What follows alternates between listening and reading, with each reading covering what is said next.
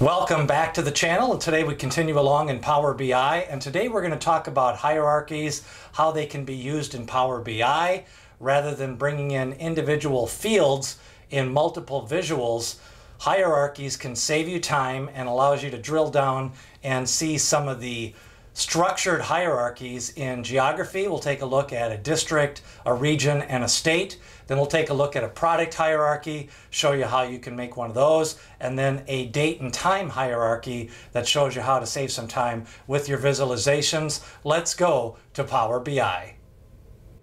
Back in Power BI, let's take a look on how to use hierarchies. And remember, hierarchies allow you to drill down and do data exploration without having to recreate and bring in all of your columns and your measures every single time. So we're going to start off with an example of a regional hierarchy and how it can save you some time and the best way to use your hierarchies in your data setup. So in your data preparation, we have a table and we have a table that has some region categories. And what you're trying to do is filter down. The top level of the region is the region name. And the second level is the division name. And the third level is the state. And what you could do is build a matrix from your visual gallery. You could create a matrix and you could bring in into your rows, you could go to your regions table and you could set up your region name and then you could add in your division name. And the final thing you could add in would be your state. That would require a little bit of planning. And if you did this just once, you wouldn't need a regional hierarchy. But if you want to do this across many visuals or somebody wants to create a new visual, what that allows you to do is start drilling down into the next level of the hierarchy. So if you hit the plus sign, you go from the Midwest, and then if you hit the plus sign on the division name, you go down to the state level. So the East North Central Division is underneath the Midwest region, and the states that make that up are Illinois, Indiana, Michigan, Ohio, and Wisconsin. Creating a hierarchy, you do not need to go do this individually. So let's uh, add the values to this and let's bring in the total order amount. And now we have it for each of the Midwest region, the East Central region, and then by state. So rather than having to recreate this, we could create a hierarchy and let's start building that out in our regions table. Let's build out the regions hierarchy and show you how it works in a visual. We're going to go back to the regions table and we are going to right click on the more options. And that is going to bring up if we wanted to do a new measure, a new column, refresh data, and we can do different things from there. We want to go to the region name. And what we want to do from there is, is create a hierarchy. And we want to create a hierarchy with the region name, and it automatically names it region name hierarchy from the name of the first column that is in this hierarchy. So if we double click, let's just name this region hierarchy and we can add a space. So now we have the hierarchy created and we want to add the division name and the state into that hierarchy. And you see the symbol for the hierarchy. And right now, if you open up this hierarchy, there's just the one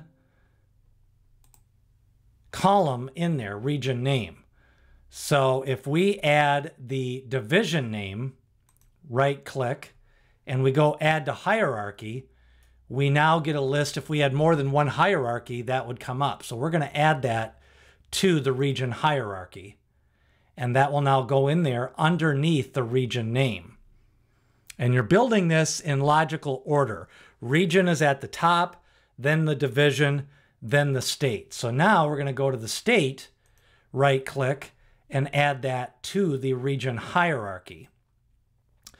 So we've now created a region hierarchy and it has the region name, the division name, and the state. Once we have the hierarchy, we can now build out a new matrix going to our visual gallery.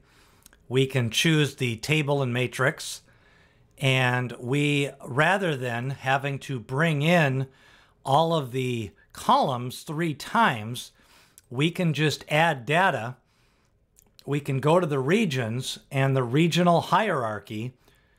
We just click on that and that brings up our hierarchy already pre-populated and we can start to drill down.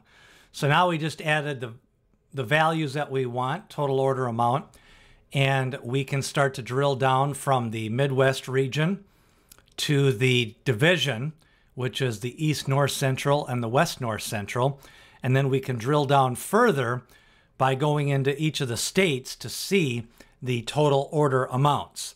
So rather than bringing it in three times, we only had to bring it in once. And if we add in any additional matrices or visuals, we have the hierarchy that's used, and this doesn't take up any more memory, any more space. We're not duplicating columns. It's just a shortcut rather than having to bring in. And you could still bring in just the division name or just the region name without bringing in the hierarchy. So now we'll do one for the products table.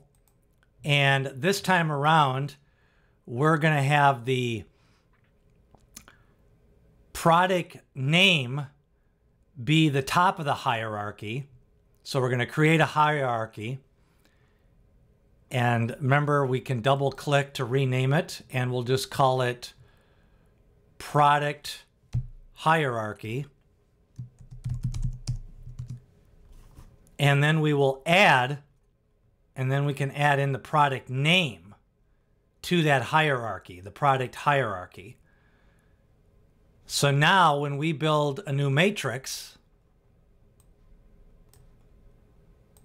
we go to the visual gallery and we build a new matrix. And what we can do now is add in, we add in the product hierarchy. And now we have the same capabilities. We have the product name, and then we can add in the product category. We've been practicing with the matrix charts, but these can be used in the other data visualizations as well. In this one, if we wanted to make that a clustered column chart, we now have the Midwest sales, the Northeast sales, Southwest, and then the same thing. You can still drill down to that next level. And now we have it broken down by the division. So make sure to take a look at the hierarchies and use this when you're building out your matrices, when you're building out your visuals, by adding in hierarchies for regions, products, some calendar functions like year, month, day, or if you want to use quarter and then month and uh, day, it can help you out and save some time as you start to build out your visuals. So that's a look at hierarchies in Power BI.